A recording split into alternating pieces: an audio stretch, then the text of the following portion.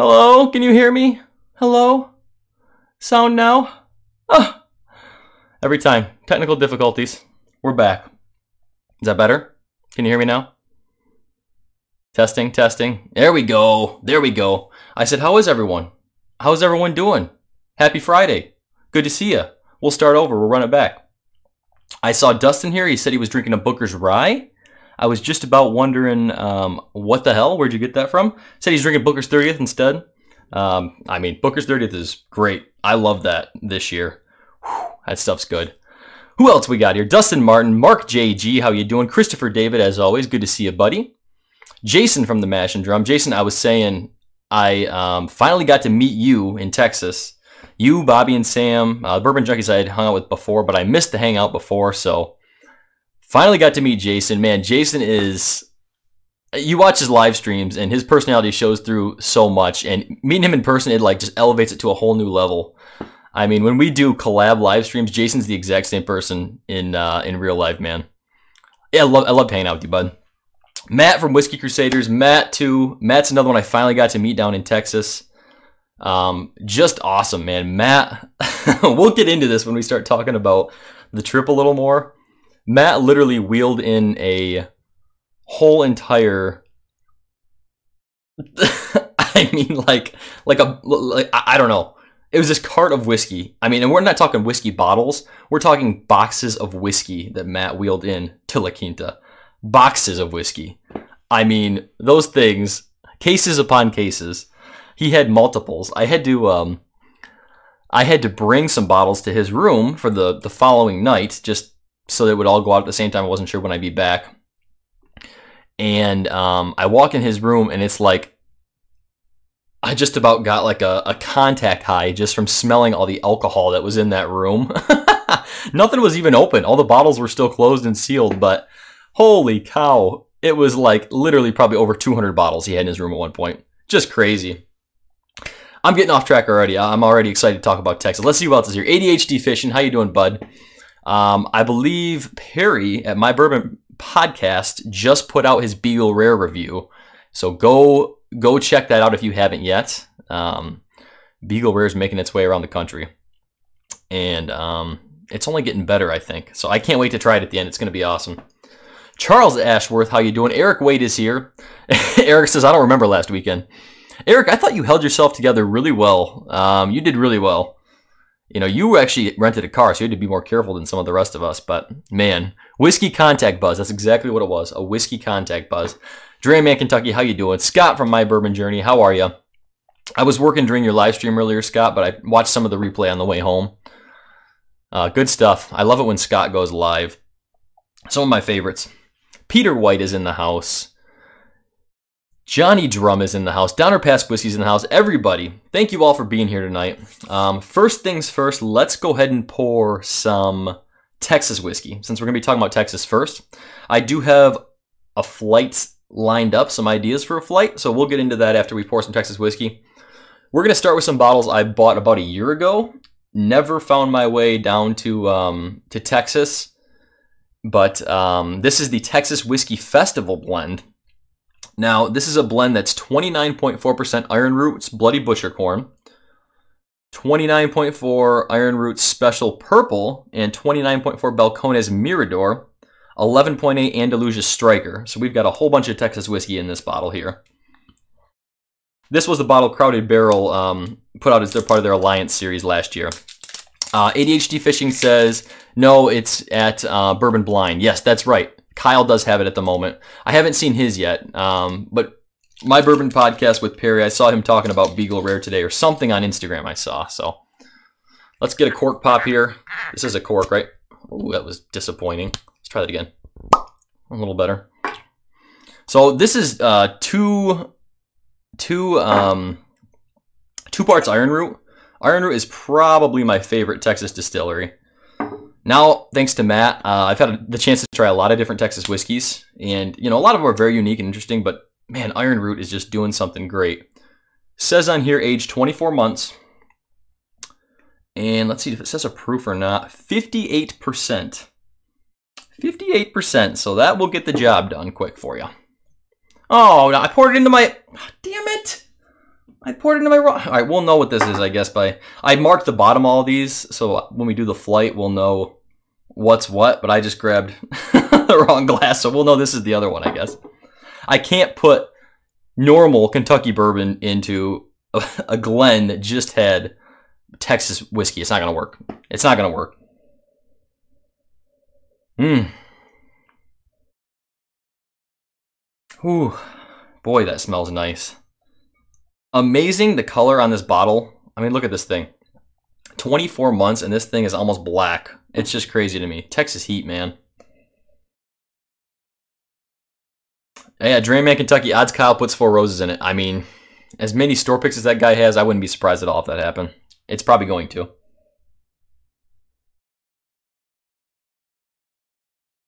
Thanks, Eric. Appreciate that. That was something really cool about going to Texas, actually. I don't know, like that's not really a compliment. I'm taller in person than I am on stream, but getting to meet people in person, it's like, oh, I didn't know you were like this or like that. The height thing, though, threw me for a loop with a couple people. Bart, Bart from Scotch Test Dummies, I looked at him, I was like, oh my god. Like looking up at that guy. He must have been six eight. honestly. He was towering over everyone there. You don't real I mean he looks tall even in his reviews, but then when you meet him in person, it's like, holy cow. Goodness gracious. Captain Make It Happen, how you doing, buddy? We're starting with some Texas whiskey. We'll move on to uh, something else after that. Jason Coates says, You're about two inches tall on my, on my stream. yeah, that's pretty short. I'll give you that.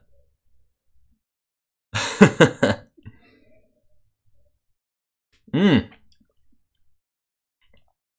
Woo! That's good. Boy, that actually drinks a lot smoother than 116 though. Mm. Texas whiskey is really something special. Steve Aronson, how you doing, bud? Trying some Woodford wheat tonight. Very nice. I have a bottle that I haven't cracked it yet. NBA has him listed as six six, but he's really seven foot.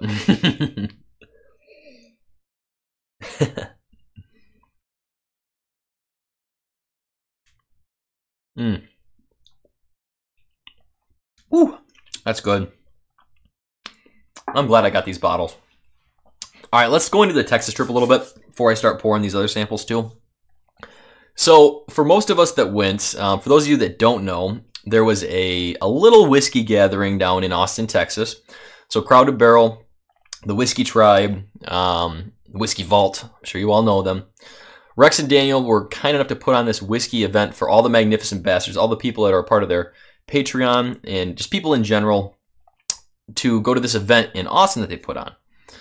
So a lot of the whiskey channels were invited. Fortunately for us, um, it's kind of the big gathering. This happened last year for the opening of Crowded Barrel, but this year it was just the Bastards Ball they call it. So for all the magnificent bastards, they got to go take, you know, be a part of this um, this event at the Whiskey Vault Whiskey Tribe. So Chris Bragg, how you doing, bud? Good to see you. So the event actually happened Saturday, but a lot of us got there Friday, Come to find out, some got in Thursday or even Wednesday, which I'm taking notes for next year now. but it was just an awesome time being able to meet everyone, get to meet people you've never met, not even just the other Whiskey Tube communities, but get to meet the actual people. I mean, the actual people who I see in chat all the time. I can finally put some faces to some names I see in Discord or in the, the live stream chats. It was awesome. It was awesome. I flew in Friday we actually had a um, an iron root barrel pick for an iron root harbinger pick we were going to be doing. And that was ske- scheduled to be at like 4 4 p.m 3 p.m something like that. Originally i would have made it with about two hours to spare but my flight got delayed two hours.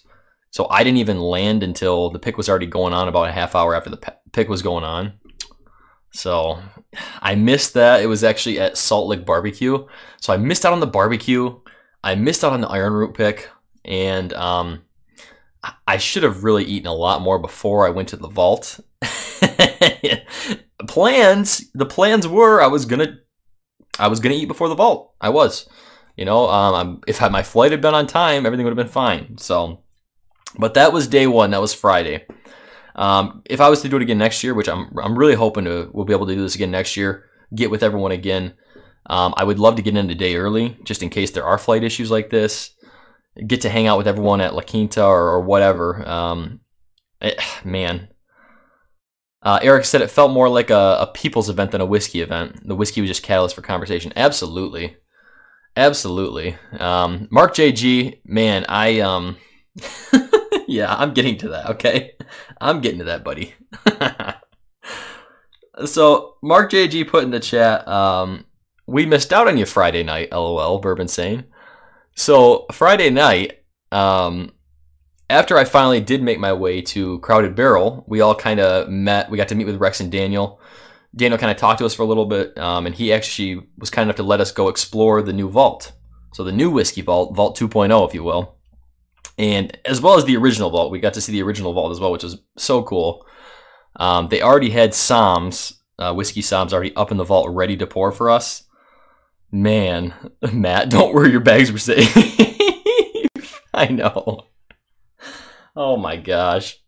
So so Friday night, um, Daniel says, "Hey, we're gonna spend about two two and a half out, man, what two hours, two hours, two and a half hours in the vault. Um, you know, so we'll wrap up at this time, blah blah blah. So anything in the vault is fair game. This is what he says. Anything in the vault is fair game. He says that to a group of whiskey, like massive whiskey enthusiasts, you know. Um, so me, it was my first time ever being to the vault. I've never seen anything like that in my life. Um, we didn't take pictures in the vault. You know, Daniel kind of said, "Hey, let's go without cameras, without video for tonight, and let's just have a good time, get to know each other, um, just enjoy the camaraderie of this, and enjoy the just this this type thing." So that's what we did. You know, we didn't take any pictures, we didn't do any of that. But my gosh, um, I mean, there I don't know how many bottles there are actually in the vault, but it was like holy cow. Um, Carl Ivy, who's one of my patrons, he's here all the time. He was in there pouring, and he was pouring a lot. Um, he is a whiskey sommelier, so he has privileges to pour. Um, good lord, uh, I can't even. People are gonna ask like, "Hey, was this in the vault? Was this in the vault?" I can't even tell you. Like, it was just mountains and shelves of whiskey. I did the best I could. Um, I blame Carl too, Matt. I really do. I mean, don't don't think you're getting out of it. Matt poured me a lot of drinks as well in the vault, but Carl was just like he was just grabbing bottle after bottle, like, hey, you have to try this, you have to try this. Almost everything I tried in the vault was actually Scotch.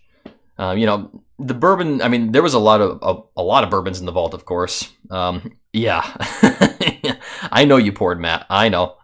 Hey, Carl, there you are, bud we had a great time Friday. Holy cow! Um, I, I was in to car like, my gosh, I um,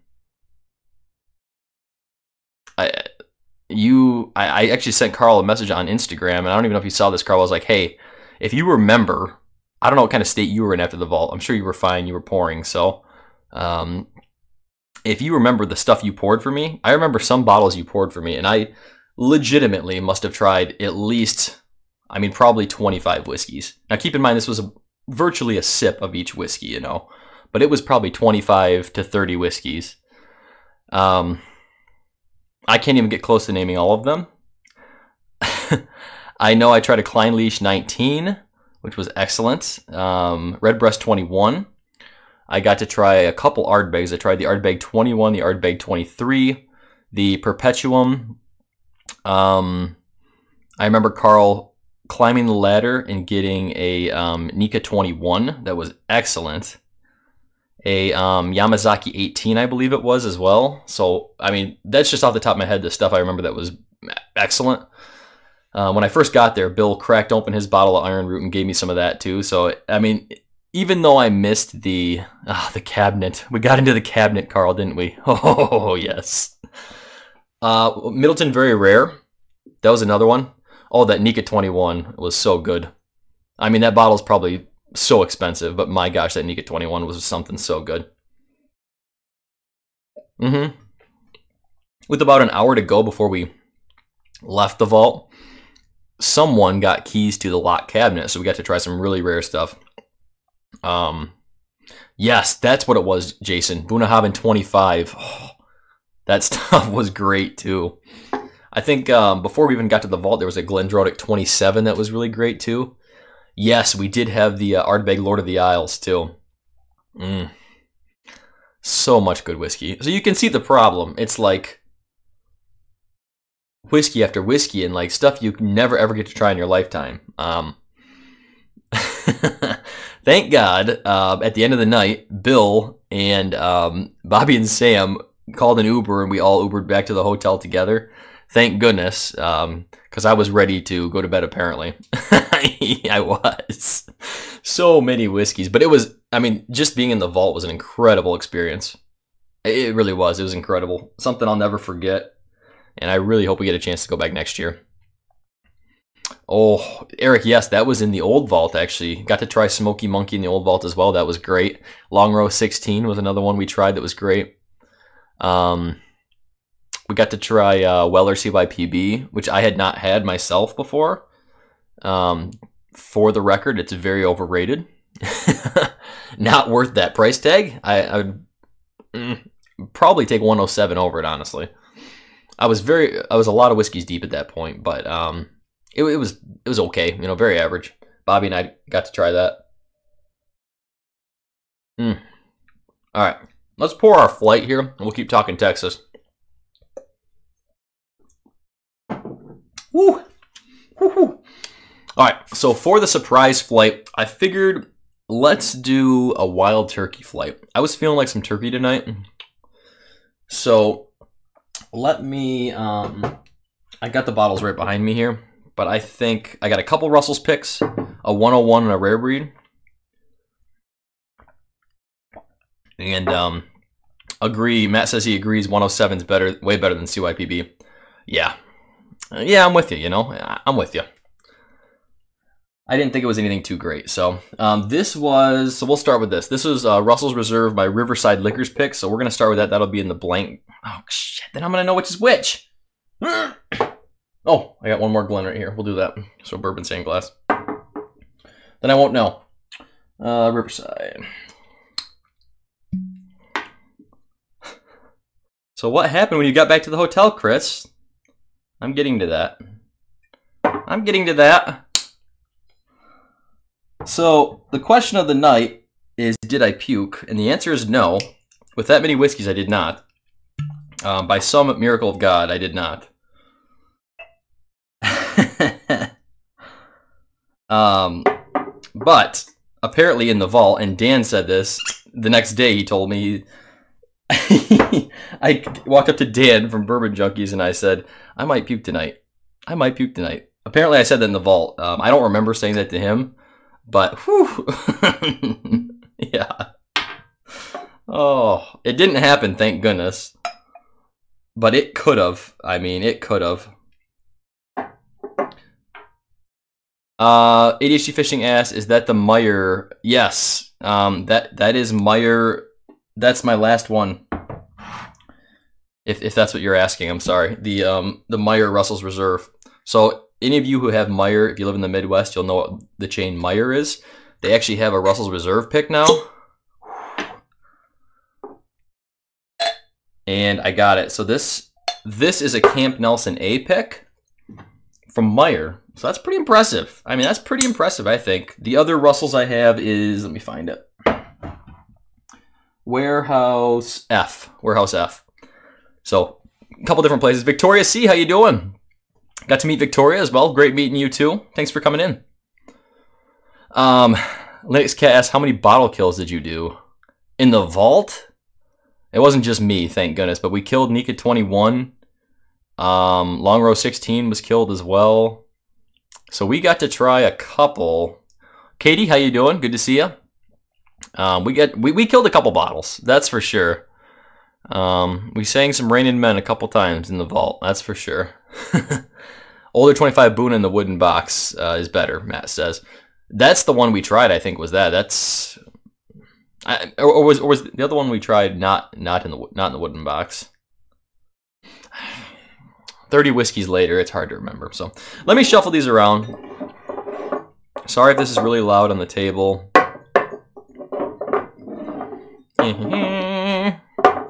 yeah. Brian Walsh, good to see you, bud. Thanks for coming in. I think y'all sang five or six times, Carl said. That's about right. I could see that. I could see that happening for sure. All right. Next night we killed more in the vault with the distilleries. Yes. Oh, that's for. Oh, yeah. You're saying at the that night. Yeah. That was pretty cool too. I'll talk about that in a second too, Matt. Didn't get to be part of that, but I think I had enough after that. So, sample number one. So after the vault, we Ubered back. Keep in mind at this point, I had to go right from my plane to the vault because I ran out of time. I didn't get to go to the hotel. I didn't get to check in. Had to have all carry all my luggage with me like an idiot. Thank goodness Scott and Bart drove uh, drove a truck, so I, I threw my luggage in there and um, I had Ubered back, so I had no luggage when I checked into my hotel room. I had no luggage, just the clothes on my back and the whiskey at La Quinta. And um, apparently, I my plan was when I got back to La Quinta to check into my room, obviously go upstairs and then come back down. There was a huge, already a huge gathering started at La Quinta. So apparently, I went up to my room, don't know what happened because all of a sudden I woke up on my bed and it was 5 a.m. 5 a.m. the first night. This was Friday. So 5 a.m. rolls around. I'm obviously still quite intoxicated when I wake up out of bed and I look around and look at my clock. I was like, oh no, what what happened? So I go to I, I actually walked down to the lobby at 5 a.m. to see if anyone was still there. no, no one was there everyone must have been so cashed out by then. Um, so I just went back upstairs. I didn't fall back asleep actually. I, I tried, but um, I just waited till breakfast started. I went down at like 7:30, 8 a.m. Got breakfast, and uh, no one was there for breakfast either. I mean, no one woke up out of bed till probably 10 a.m. that day. So when I finally, finally went back, um, there were a couple people down there, and man, people were not feeling good the next day. If I, I didn't feel good till about 10 a.m. that day, and once 10 a.m. hit, I was fine. But that was funny. I seriously, when I checked into the room, I was literally just planning on heading upstairs, coming right back down, and drinking with everyone. But apparently, my body was like, "No, you're passed now," because I don't even remember laying down. But I woke up on the bed, on top of the sheets, fully clothed, because I had no luggage.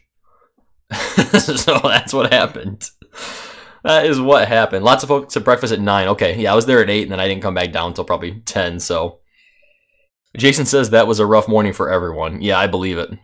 I'm telling you, you guys must have really been hurting if you were there all night downstairs at La Quinta too after the vault. Next time I need to load up on barbecue before I go. I mean, missing that really hurt. Mm.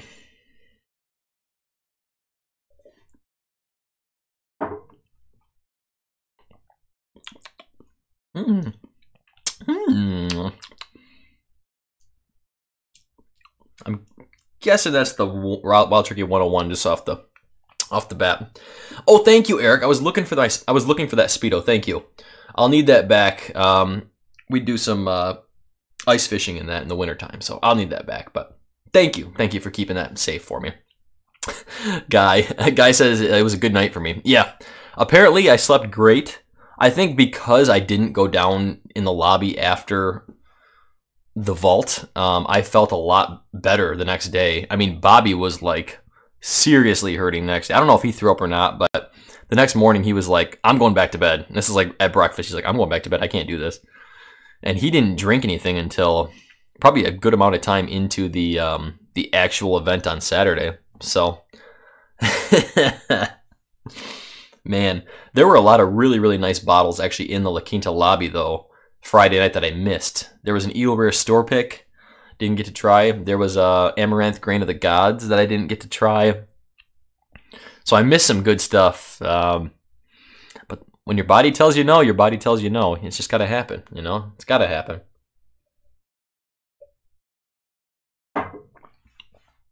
Eric, it was great to finally meet you too. Eric's um, a great guy. Um, just like his personality on his live streams too. Eric's the same way, you know, and that that's awesome. Pretty much, honestly, pretty much everybody in this whiskey tube community, all the way down to like you know Rex and Daniel, like the way they acted in front of everyone was exactly the same as you see on camera. There's no faking, you know. There's no one being being fake about the way they do things. You know, everyone's just there for each other, looking out for each other first. It's just awesome. It's actually awesome. Speedo! Speedo! oh. Uh, apparently, dark meat chicken. Apparently, that check liver light came on, and it came on strong. But the next the next day, I started drinking again at like 10 a.m. Um, wait, no, not 10 a.m. I'm sorry. The event didn't even start till later. So, but pretty much right when the event started, when the distillery started pouring, is when I started drinking. I took it a lot easier on Saturday, of course. Um, but the actual event, so let's talk about the actual event a little bit. Um, there was a whole courtyard set up just for Whiskey Tube. You know, just if you wanted to go meet and greet with the Whiskey Tube community, anybody pretty much who was invited. That was awesome. Um, that's something new they had this year, I guess, they didn't have last year. So we all got our allotted times to, to talk to people. You know, obviously people were there mostly for the Whiskey Tribe and for, for that whole side of things, the Bastards Ball, trying a whole bunch of stuff from all the Texas whiskey distilleries but to be able to meet some people and talk to some people just throughout the event, it was it was really awesome. It's um definitely the best whiskey event I've probably ever been to. So anyone who can get a chance to go to that in years to come, I would definitely recommend it. Mm. Eric's beard was in full effect. For sure. He's going to keep that thing forever now, I think. I liked it. um, there were man, must have been like ten to fifteen distilleries there, Texas whiskey distilleries, and they were pouring. I mean, multiples of their expression. So I mean, obviously, again, there was no way to try everything at at those places too. You had to really be selective about what you wanted to try. Too much for me to name um, for the stuff I tried. I didn't drink, like I said, I didn't drink that much at the actual event. Um, yeah, bourbon junkies are definitely real. That's for sure. How's it going, Antonio? Good to see you, bud. Yeah, Sean and Dan are awesome. Um, and in real life, man, they're they're hilarious too. Just just like they are on on stream, you know. Great guys. I love them. Excuse me. I'm pretty much just drinking this flight. I'm not really giving you guys any notes, so that's fine. Drinking some wild turkey. What's everyone else drinking now? We've got to be on pour two, pour three here, right? What's everyone else have now? What do we move on to? Mm. Mm. Hang on, I just had a pop up on my screen say, your PC is going to restart in 30 minutes. 29. That's not happening. There. You can wait till later. Come on, you dumb thing. There we go. Lagavulin, says James Newman. I like the way you think. Uh, man, I'll tell you, going to the going to the vault though, it really did I mean, there were some like actually life altering scotches you get to try there. At least for me, you know, being being a bourbon background bourbon drinker. Jason, I don't need to see that flex. Okay, that's enough. I I don't I don't need to know what Jason's drinking. I already saw on Instagram what Jason's drinking. So uh, take take that shit elsewhere, please. That looks pretty good though. I don't I don't know. I mean, 30 bucks more, 1 year. I'm not convinced, but you know. Antonio, I'm serious, life altering. If you've never tried a GlenDronach 27, that was like one of the first things I tried, and it was I could actually like remember it and actually appreciate it. Man, you know, it's one of those sends chills down your spine and other parts of your body. It really does. It really does. Mm. Mm. Oh, I just love wild turkey. That's a good one. Whatever that is. That's got to be Russell's pick. That looks really good. Mm. I know. DH Sub, you're absolutely right. Vault. Vault shook. Captain. That's about right. That is about right. Vault shook. I know Dustin though. Yeah, that is the first pour. It was, it was, it was, it was something. But that's what I'm saying. Like it, it literally, it just shows you like this is Scotch. This is Scotch, and this is what you're missing. You know, this is what you should be focusing now with your life. Like you should now spend thousands of dollars on Scotch instead of bourbon. You know, like that's what that's the kind of thoughts that were creeping into my head. You know, this is a bourbon channel. I'm gonna stick with bourbon for the most part. But don't be surprised if you start seeing some more scotches come up. Oh, James, so you got to try you got to try the uh, Ardbeg 19 at La Quinta. That was probably Friday when I was apparently sleeping in my room, not knowing what's going on. That's another one I wanted to try too. The 19, you know. It's kind of like an odd it's like an odd spot of um Ardbeg, I feel like. There's the 21, the 23, all the other expressions. 19 is kind of like a weird spot. Um, when uh, Eric did his review of the 19, he was like the first one to do the review, I think. He, you know, he liked it, but I wasn't really convinced with the way he was saying the review that he liked it, liked it a lot. I mean, he's a big, you know, he, he likes peat. He's a peat guy, so we all grow up eventually, Jason says. I know, I know. It's right. Uh, Johnny Drum says he got his first bottle of Russell's last night and blown away. Um, got more than rare breed. Yeah. I'm telling you, did you get a, a store pick then? I assume you got a store pick, not just the shelf single barrel. It is. Russell's is some really good stuff. I mean, really good stuff.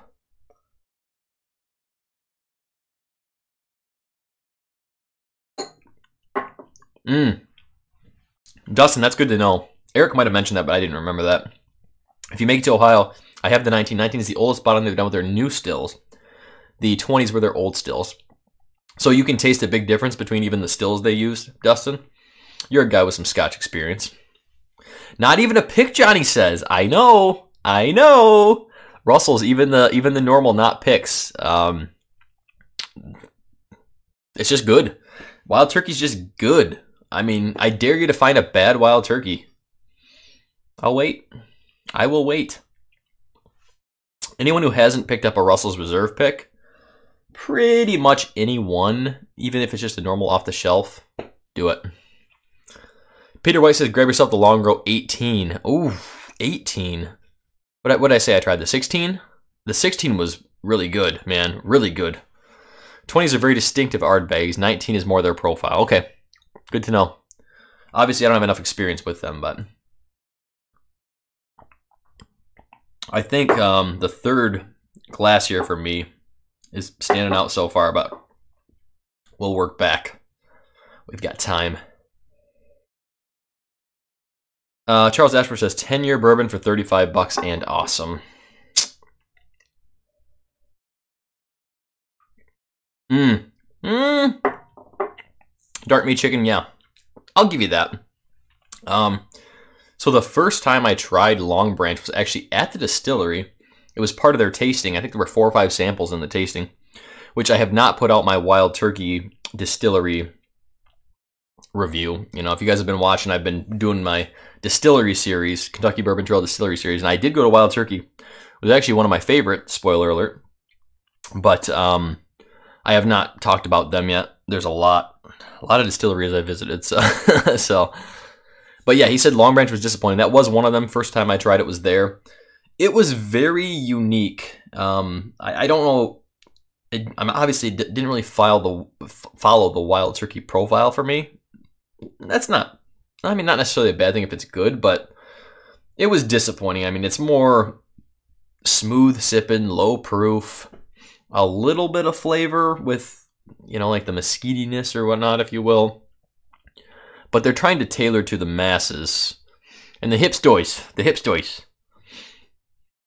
Um, let's see. Dustin said, if I didn't have a friend with them, I wouldn't either. 20 year Ardbegs are stupid expensive. I know.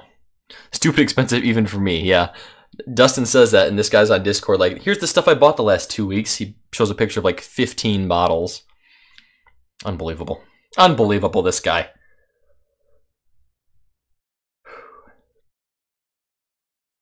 Mm-hmm. Man's exactly right. Wait till you get a store pick. I gotta say, I cracked this um, Meijer store pick, which is a Camp Nelson pick, and it was bounds and leaps different than my normal, or the other one I had, the uh, Warehouse F Russell's pick.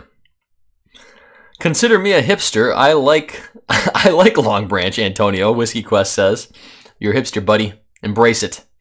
Embrace it. It's fine. no, um, it's it still tastes like bourbon. Don't make me. I mean, I can I can easily drink it, sip on it, and it's fine. You know. Captain. Yeah. Mesquite mellowing does give it a different profile, Jason. You're absolutely right. I don't know how I feel about the profile though. I mean, like I said, it's it's okay. It's all right.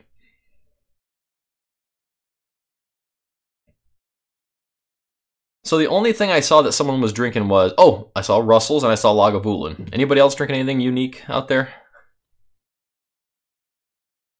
Dram Man, no. Um, the picks one of one of my stores, well, Meijer just got the pick, but it's the old bottle still. So I'm sure stores are starting to get picks more often now. Now that the bourbon boom is picking up around here, so I'm thinking I'll get a new bottle at. I actually like the look of the new bottles. This is kind of an odd label to me. These Russell's bottles.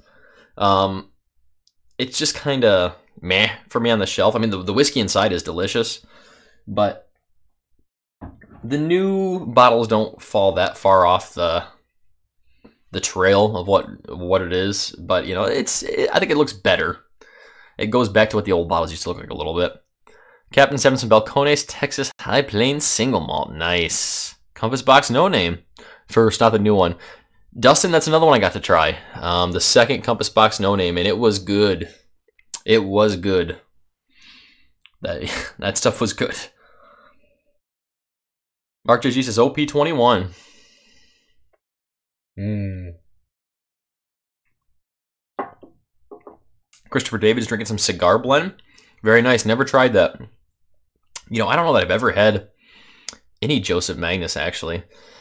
It's the, the the base expression with like the silver label or whatnot. That's available around me. It's just expensive, and you know it's expensive. But a lot of people say it's pretty good. We'll see. You know, I'll, I'll probably get it eventually. Just gotta be in the right mood someday. You know. Johnny Drum asks, "What's my favorite bottle design out of any bottle?" Wow, that's a tough question, man. Um, you know, I really like the way Four Roses does their bottles. Like the four, I'm just looking at the Four Roses small batch. Like they have the blown rose into the glass, and then they usually have pretty cool labels. You know, the store picks obviously get really cool. Some people put their custom stickers on it, which is really cool. I like that. Um, as far as base bottles go, the Old Fitz decanters are nice. I don't know. There's so many different ones that try to stick out on the shelf. Tough to know. I don't know. It's tough. Tough to say. How do you pick, you know? How do you pick? Uh, DH Silva says if you make it to Ohio, Joseph Magnus is 85, not... Yeah, it's, it's like 110 here, so that's exactly right. Uh, Lennox Cat says moving on to Binny's Russell's Reserve store pick. Very nice. You know, I had a Binny's pick that actually placed higher than my Riverside pick. It's really good. Really good. Orangey citrus bomb for Captain, he says. Yeah, Christopher David said the old Fitz bottles. Yeah, they're definitely nice. I mean, those decanter bottles. You're paying for the bottle, really. You know, that's the uh, the price difference, but they are nice bottles, and you can use them later.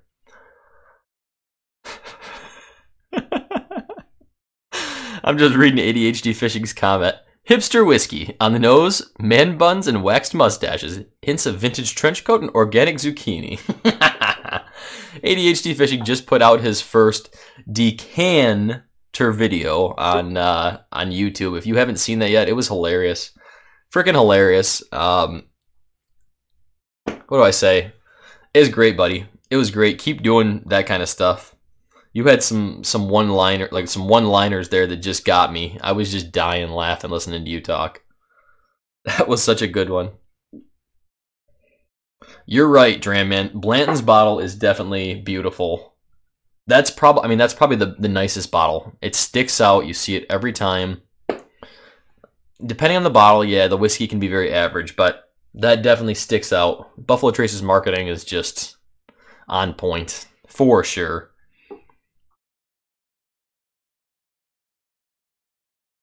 Mm.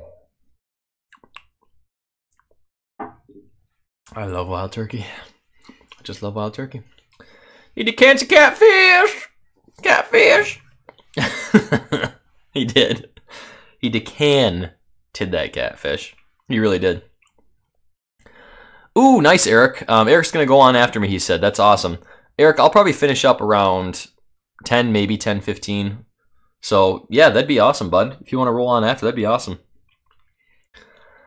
Uh, oh, you know, Hot Buttery Rolls, another guy I got to meet down in Texas, too. Awesome guy. Just hilarious. Um, him and ADHD Fishing got to get together. That'd be some unstoppable content. But yes, that's another good one. High West bottles always stick out on the shelf. Always. It's a glorified wine bottle, and they got you know their distillery logo etched right into it. They really are. I you know what? I brought a Boo Rye down to Texas. I didn't even crack the thing. I don't know if it ever got cracked open. Um, I was so debating what bottles to bring down to Texas. It was so tough to know. I brought my Michter's Toasted Barrel Rye. Um, actually, Hot Buttery Rolls ended up going home with the rest of my uh, Larceny Barrel Proof. It was about, I don't know, a third of the way left. So I was like, I'm not going to try to fly with this and have it spill over my luggage. So there you go, bud. Um, but yeah, that was a great bottle too. I, I really, really liked the Larceny Barrel Proof this year. I think they did a good job. Um, and then, yeah, High West Boo Rye. I think Matt probably still has that bottle somewhere in his house of whiskey. Crusader's House of Whiskey. Somewhere. But Boo Rye's another one. Um, actually, I don't think I, I never even tried that bottle. It was sealed still, so I figured, hey, let's bring that. Uh, Linux Cast, anyone ever had Murray Hill Club? I have not had that. Um, I believe if that's the bottle I'm thinking of, I've heard mixed reviews on that. I've heard some people say it's good and others no. So I'd have to see the bottle to make sure I'm thinking of the right one, but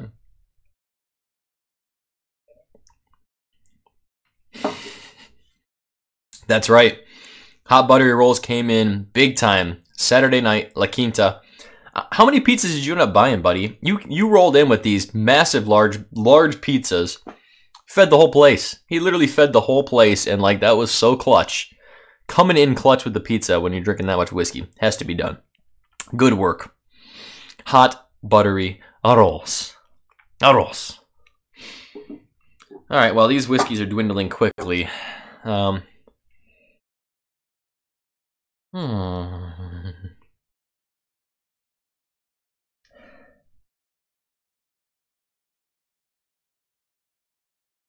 Mm. Mm-mm. It's time to dump these. I have no idea which is my favorite. Um, probably this one here, honestly. I'm not going to count down least favorite, but this is nothing, so that's this uh, Riverside. Riverside Russell's Reserve pick. Russell's Reserves are great, man. Mm, Russell's Reserve. Uh, Linux Cat, what did you say you found on the shelf? Uh, looks like Joseph Magnus. I can't read that far up. that is what happens with Wild Turkey. You are right, Charles. You are right. Let's make an infinity turkey. Infinity turkey. Let me get these off of here.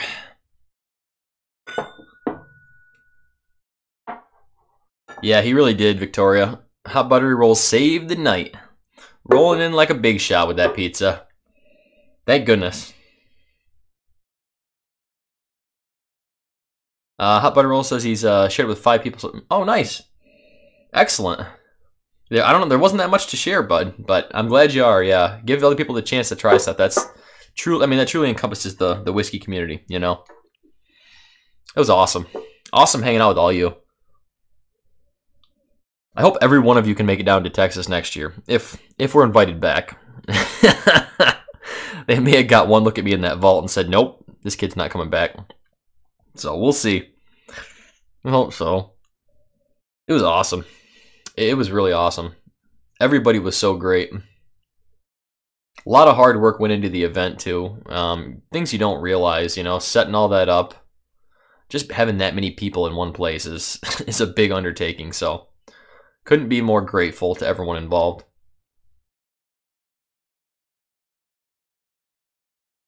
Mmm. Well, that tastes better than anything by itself. Why is it that all infinite infinity blends seem to do that? They just get better. When you mix stuff together at the end of the night, it's like stuff just gets better. Mm.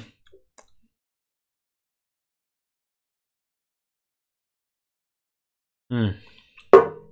It is. Get a lot more of that wild turkey nuttiness now coming through, which none of them individually had that much. Um, but man, that nuttiness. Big ass slices. That's how I read that. Big ass slices. It was too. They were huge.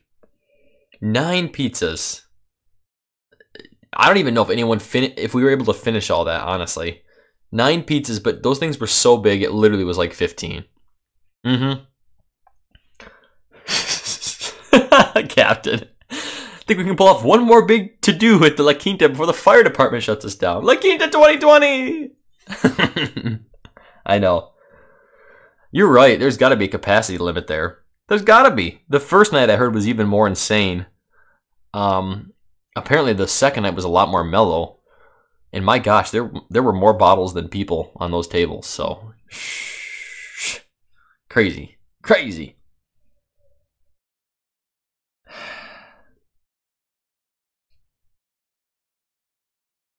Hmm.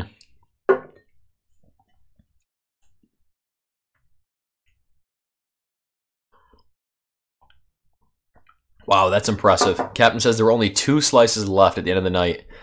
About 3.30 in the morning, I had a piece. So there was enough left for me at that time. That was right before I left on my Uber to fly out at 6 a.m. the next day. 6 a.m. the next day. I had to fly out Saturday. So this was the worst planned trip ever on my part.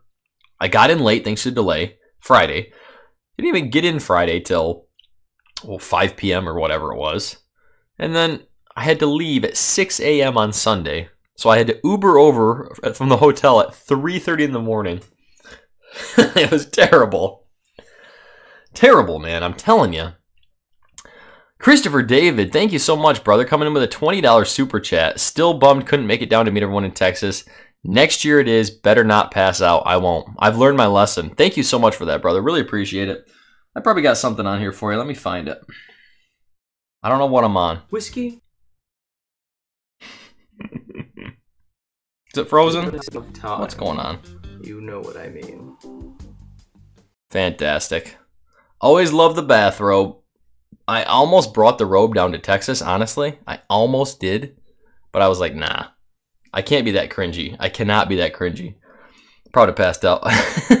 Captain says you were looking rough. well, you ta- well, you didn't even see me. You didn't even see me um, till the event. Actually, is where I first met Captain on Saturday. But yeah, it was like 3:30 in the morning. You should have seen Sean though. Sean from Bourbon Junkies. He was staying up all night too because they had to fly out at 6 a.m. as well.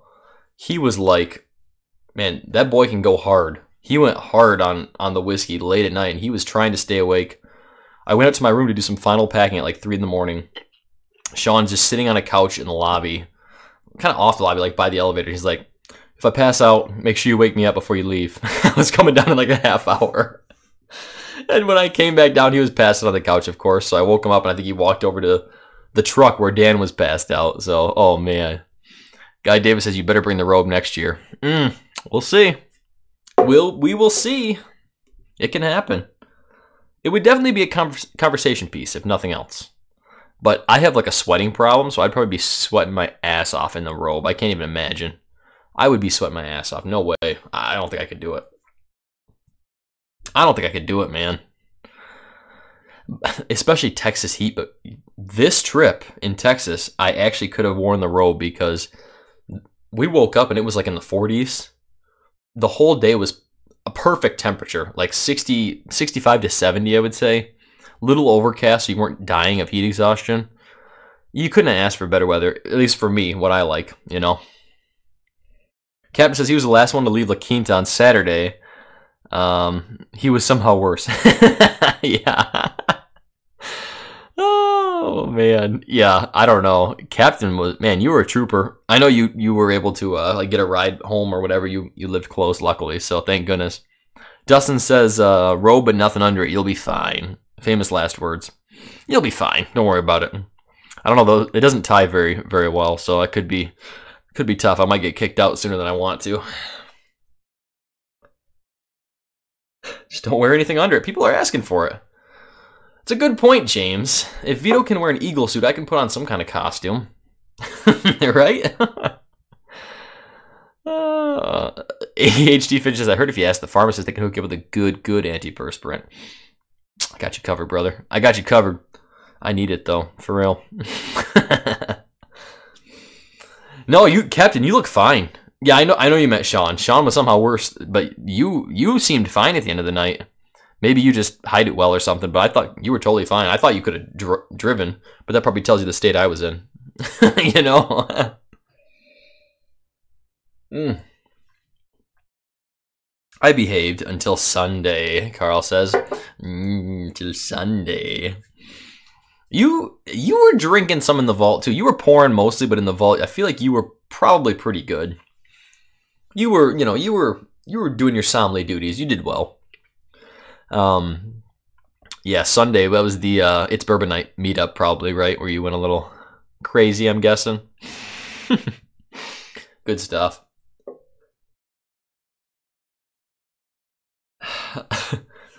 More from the four hours of sleep the night before, Captain says. Mm-hmm.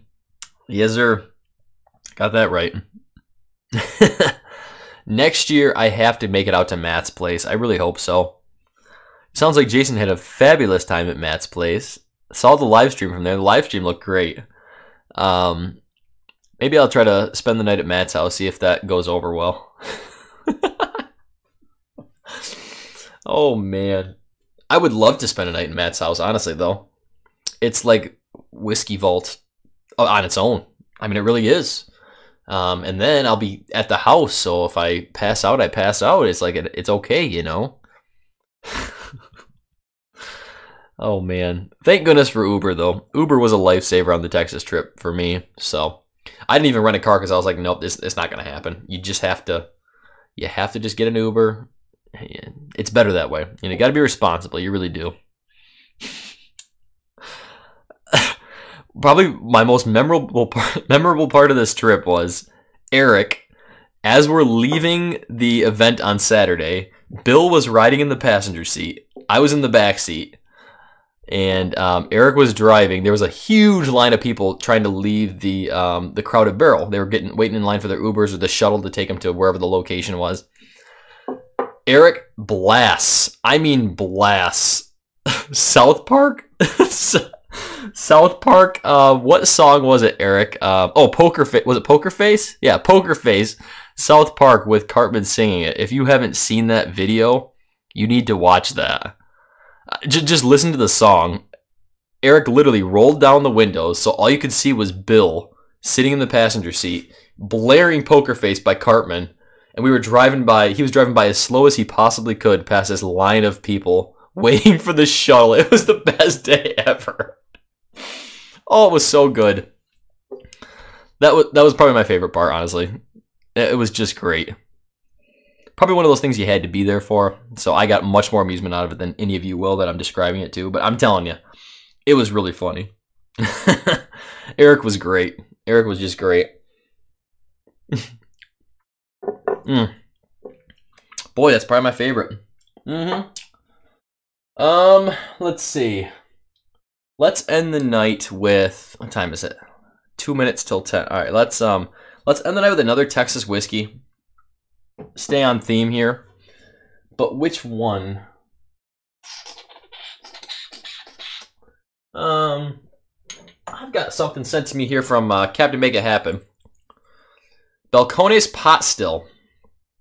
So let's let's dive into this one. Balcones sounds pretty nice. Grab my old Texas glass again.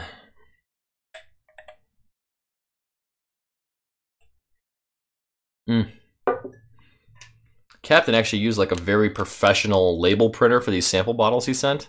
Just fabulous. The guy knows what he's doing. I know, Captain, but that's fine. Honestly, it smells good. It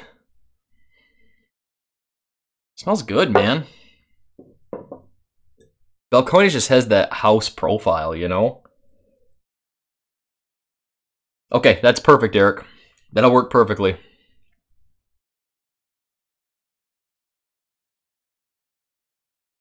Guy Davis says me and me and my friends ended many nights at the bar in Dallas with poker face.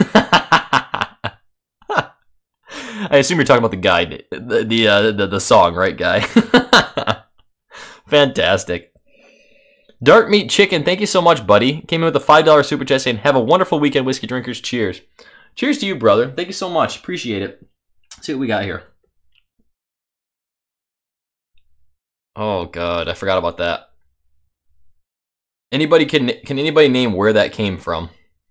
Anybody? That was actually a video I put out, but I think I pulled it off. Not actually a video, but it was so it was something I did. If anyone can name where that's from, I'd be pretty impressed. that's true, Captain.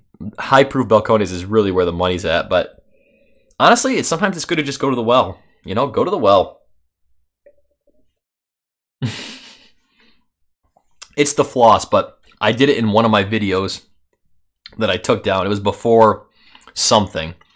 I don't play Fortnite, but yeah, that's originally how how it started with Fortnite. You know, that was actually in my um, I did an intro video for announcing that I was going to be doing my thousand subscriber celebration. And it was like a celebration. I did a whole bunch of dances in the beginning of the video. Not, I mean, only like 150 people watched it or something like that. So I took it down. It's not something that would stay up there since it was an intro to my live stream I was going to be doing. But I did some pretty bad dances in that, and that was one of them. The floss, you know, the floss.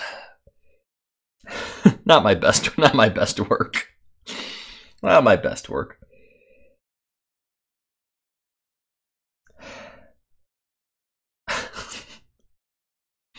D Psycho says, I'm thinking as much as you drank the first night in Texas, it may have benefited you to throw up. I felt fine the next day. I felt fine the next day. I mean, in the morning, it was a little rough to keep anything down. Like, I just felt like I was going to throw up. If I drank any water or anything, it was like, oh, no. But then 10 a.m. rolled around, I was fine. 10 a.m., I was perfectly fine. Thank you very much. I appreciate the concern. Hmm.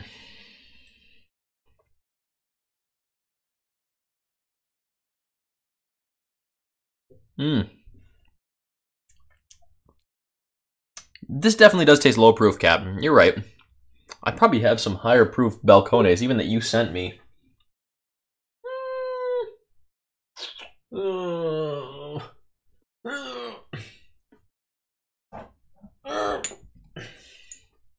That's not from Captain. Ooh, Compass Box No Name. Let's do this. This is batch one. This is also from Captain. Let's do this. Let me get a different Glen here. Ah, oh, Carl, no, I didn't. He asked if I tried the Old Pulteney 21 I had, or you guys had Saturday night. No, I don't think so. Saturday's a little tougher to remember what I tried. Um, I didn't go to sleep until I literally was up for 40 hours starting at 5 a.m. on Saturday morning. I was up 40 hours straight before I finally fell asleep. Captain, I know we're going off the rails right now. It's a, it's quite, a, it's quite a jump. I know, I know, but I, I Scotch sounds good now. I, I could go for some Scotch, you know. All right, my PC apparently needs to really update here. Not happening. All right, let me pour this.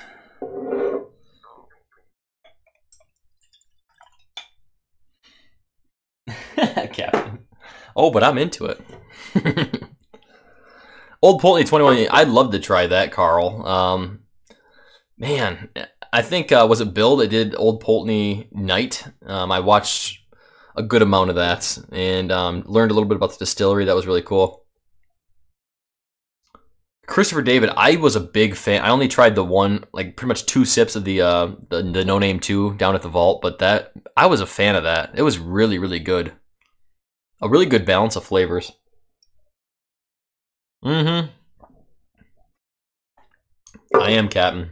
This might be. I, I've never ever seen Compass Box. You know, so it's like, who knows? save a little bit just in, just in case I get in the mood the mood, you know?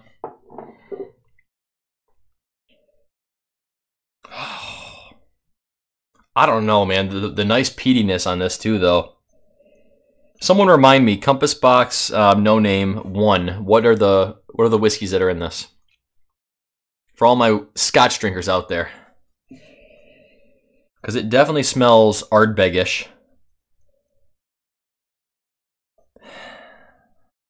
Ardbegish. Oak and Smoke, how you doing, buddy? Thanks for coming in. Good to see you. Checked out your uh, Stag Junior review you did recently. Good stuff. Good stuff. Mostly 13 year Ardbeg. That explains the Ardbeg. Okay.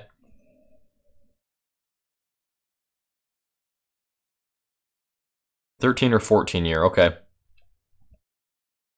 I mean, I feel like that's probably a good age group for Ardbeg because, in general, you know, I I like getting hit in the face with that peat. You know, a lot of us do.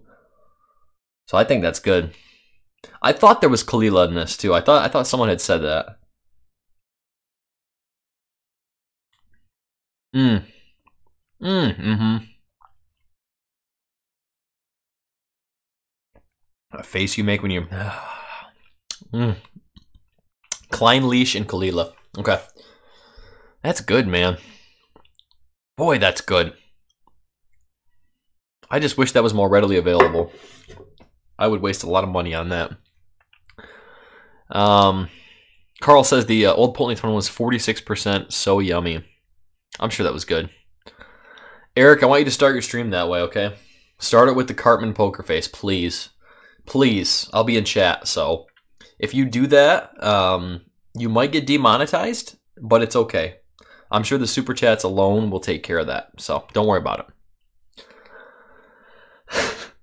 Dustin says it's just sitting on the shelves here. You know, I guess I could probably find a store that can either. Is it available, like where they could order it for me then? Because maybe I can get a store that could order it for me. Because if it's just available, man. That's so good. Number two is Majority Caol Now, Christopher David, when I tried Compass Box 2, you could taste the peat, but I feel like this was more heavily peated than um, than Batch 2 the um the number two just it was more of like fruitiness I got out of it, you know, more those fresh fruit citrus notes to me. Mm.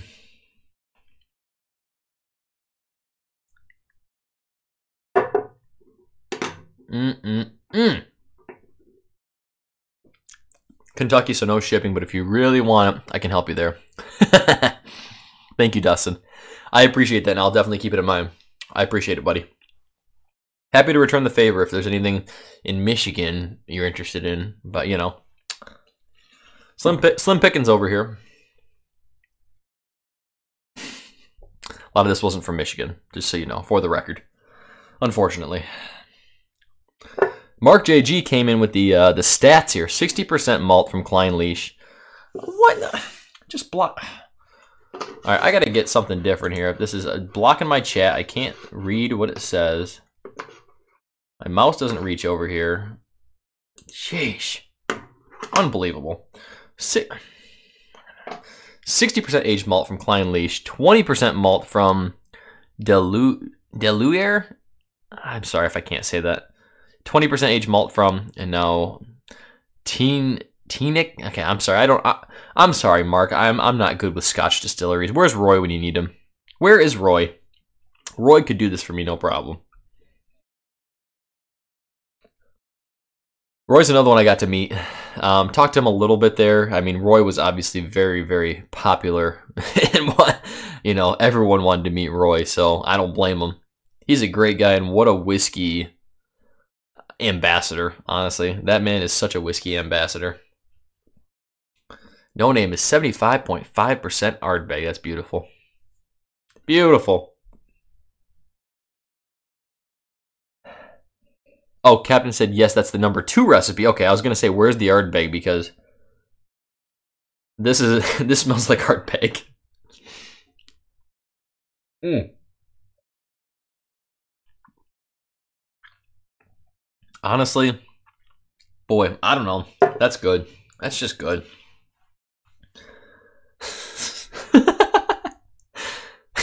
You can't say no to that pop up again. Auto restart. Hi, I'm Carl from IT. I know. Next time I'm restarting my computer before the stream, learn that. 10% Caol Ila, 13.4 Clynelish, 0.5% of something else. Well, that 0.5% can make all the difference, buddy. You know that. You know it can. I want to be so good at tasting whiskey someday that I can pick out what that 0.5% is. Goals. Whiskey goals, man. Whiskey goals. We're beyond that point. Beyond that point. Roy is sleeping, no doubt. Yes, he is. He absolutely is. In his bed of whiskey, I'm sure. All right, it is 10:10. Eric is going on in five minutes. Let's wrap up. Um, I just finished my one more sip. Let's finish it. Mm. Scotch, man. Gonna be the death of me. The end of my marriage, most likely. Let's wrap up. Um, thank you for hanging out now. This is Friday. We talked Texas. We tried some wild turkey. Didn't really talk about wild turkey, but we tried some wild turkey. Anybody who can get the opportunity to go on any, just go to any whiskey event and get to talk whiskey with fellow whiskey lovers, whiskey enthusiasts, please do it. It doesn't have to be a massive event like Texas was. It can just be your local bar. My local bar here by me gets puts on these these events all the time, these tastings. Do that. You'll you'll meet friends you want to hang out with all the time. Um, please do it. You know, it's it's an awesome community and you will not regret it. I promise you. But I appreciate y'all hanging out tonight. Thanks for talking Texas. Thanks for hanging out. Thank you all for being in chat with me. Um, you could be doing a lot of things on Friday night. You could be watching the playoffs, baseball. Tigers suck, so I don't care anymore. But um, anyway, thank you all so much. Make sure you do head over to Eric Waite's live stream. He's going to be starting up in about three minutes. So let's finish off with that. Cheers, everyone. Um, thank you for all you do. Thank you for the super chats tonight. Thank you all for just hanging out and being awesome. Have a great night, everyone.